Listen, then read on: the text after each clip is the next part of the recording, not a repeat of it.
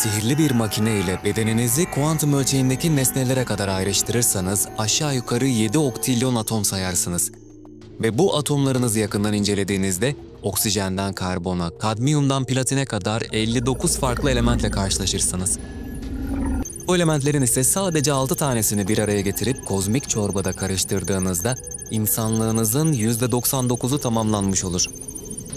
Ama vücudumuzdaki asıl büyük hazine altın, platin, bakır, demir ve diğer değerli elementler geriye kalan o yüzde birlik bölümün içinde gizlidir.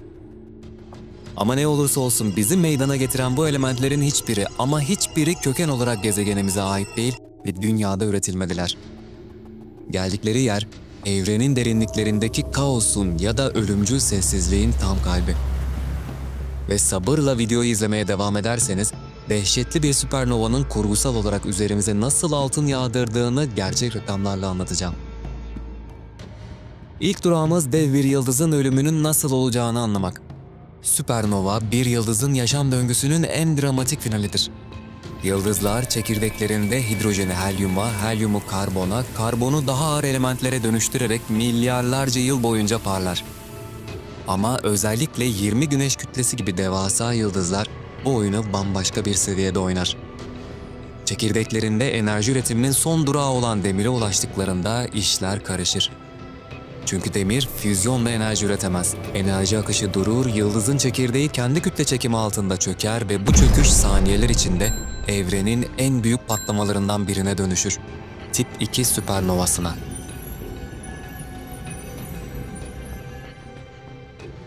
Bu patlama o kadar güçlüdür ki yıldızın dış katmanları ışık hızına yakın bir hızla uzaya fırlar.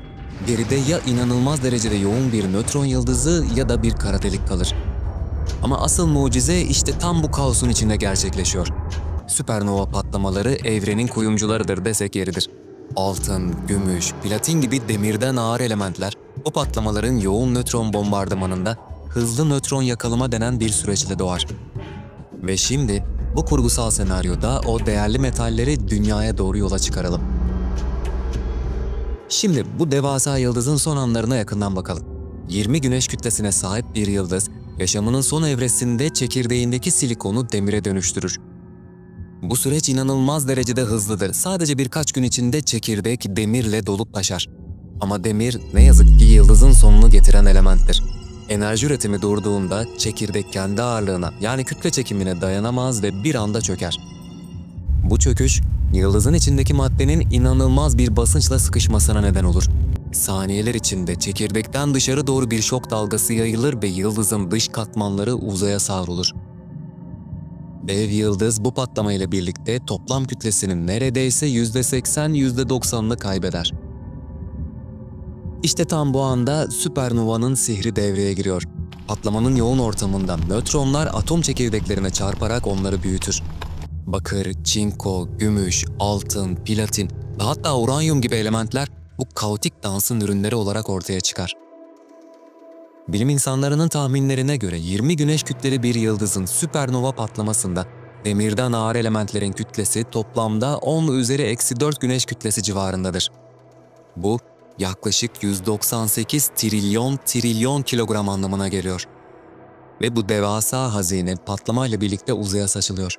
Peki bizim senaryomuzda bunların ne kadarı dünyaya ulaşırdı? Şimdi işin en heyecanlı kısmına geldik. Dünyaya ne kadar değerli metal yağacağını hesaplayalım. Senaryomuzda süpernova dünyadan bir AU uzakta yani güneş kadar uzaklıkta patlasın ve biz kurgusal olarak dünyanın bu patlamadan zarar görmediğini varsayalım. Süpernova, maddesini küresel bir kabuk halinde uzaya saçar. Dünya ise bu maddenin bir kısmını kendi kesit alanı oranında yakalar. Gelin biraz sayılara dalalım. 20 güneş kütleli bir yıldızın patlamasında yaklaşık 15 güneş kütlesi yani 2,9 çarpı 10 üzeri 31 kilogram madde uzaya saçılır. Bu maddenin içinde demirden ağır elementlerin oranı yaklaşık 10 üzeri eksi 4'tür yani 2.9 çarpı 10 üzeri 27 kilogram. Süpernova bu maddeyi 1 AU mesafede 4 pire kare yüzey alanına sahip bir küre boyunca dağıtır. Bu mesafede dünyanın yakalama oranı yaklaşık 4.5 çarpı 10 üzeri eksi 11'dir. Yani uzaya saçılan toplam maddenin sadece 45 milyarda biri dünyaya düşer. Gezegenimize yağan bu elementlerden demirden ağır olanlar ise 134 katrilyon 600 trilyon kilogramdır. Sayılar büyüdükçe anlamsızlaşıyor farkındayım. O yüzden biraz daha yüzeysel gidelim. Gökyüzünden inen ve demirden ağır bu elementler arasında dünya yüzeyini en çok kaplayan %1 oranla trilyonlarca kilograma ulaşan bakır olurdu. Platin ise %0,1 oranla hemen arkasından gelir ve milyarlarca kilogram yeryüzüne ulaşırdı. Altın ise %0,01'lik bir oranla yeryüzünü kaplar ama bu oran bile milyarlarca kilograma denk gelirdi. Düşünsenize 13,5 milyar kilogram altın. Dünyanın şu anki altın rezervlerinin 60 bin katından daha fazla bir anda gezegenimizi dolduruyor. Madem buraya kadar geldik, bir adım daha ötesine geçelim. Gezegenimizi dolduran bu madenler dünyanın yüzeyini ne şekilde kaplardı? Kara ve okyanuslar dahil dünyanın toplam yüzey alanı yaklaşık 510 milyon kilometre karedir. Gerçekte atmosfer ve yer çekimi dağılım etkiler ama biz tüm bu maddenin yüzeye eşit dağıldığını varsayalım. Elimizde dağıtılmayı bekleyen yaklaşık 8973 trilyon metreküp malzeme ve tüm gezegen yüzeyine saçtığınızda dünyada bir anda neredeyse 2 santimetreye yakın tabaka meydana gelirdi. Bu oldukça ince bir tabaka gibi görünebilir ama dünyanın devasa yüzey alanını kaplayan inanılmaz miktarda malzeme demek. Şunu düşünün, her bir metrekarede 263 kilogram madde var. Bu, her metrekareye birkaç kilogram bakır, yüzlerce gram platin ve onlarca gram altın içeren bir metal tozu tabakası anlamına gelir. Eğer okyanuslara düşen parçacıkların dibe batacağını öngörürsek, okyanuslar yüzey alanının %71'ini kapladığı için yaklaşık 95.6 katrilyon kilogram madde suya düşer. Deniz tabanındaki çukurlar, özellikle Mariana Çukuru gibi derin noktalar altın ve platin taneciklerinin yoğunlaştığı bir kozmik hazine deposu haline gelir. Everest'in güney yamaçları veya Antların batı vadileri rüzgarın getirdiği metal tozunun yoğunlaştığı yerler olurdu. Benzer şekilde dağ gölgeleri, ekvator kuşağı ve çöller de lokal yoğunluklar gösterir ama okyanus çukurları açık ara kazanırdı. Hayal gücümüzü biraz daha serbest bırakalım.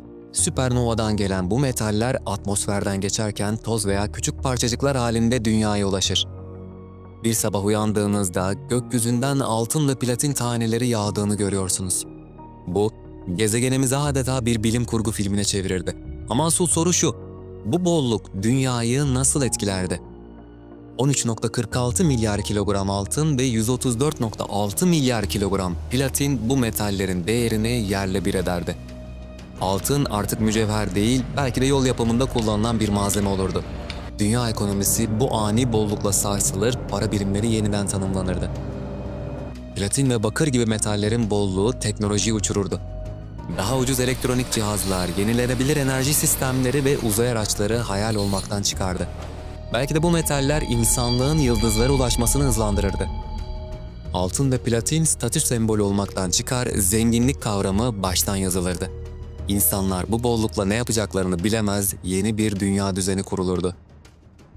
Artık burada duralım. Gökyüzünden altın yağmurları, platin tanecikleri ve bakır tozlarıyla kaplanmış bir dünya hayal ettik. 20 güneş kütleli bir yıldızın son nefesi bir AO ötedeki gezegenimize 134 katrilyon kilogramlık bir hazine yağdırdı. Okyanus çukurlarında kilometrelerce derinlikte biriken bu kozmik hediyeler, dağların gölgesinde ve çöllerin sessizliğinde yankılanan bir evren masalını anlattı. Bizler bu elementlerin vücut bulmuş haliyiz. Bedenlerimizdeki her çinko tanesi, her iyot zerresi bir zamanlar böyle bir patlamanın ateşinde doğdu. Düşünsenize, bu metaller yıldızların kalbinde dövülen sonsuzluk parçaları.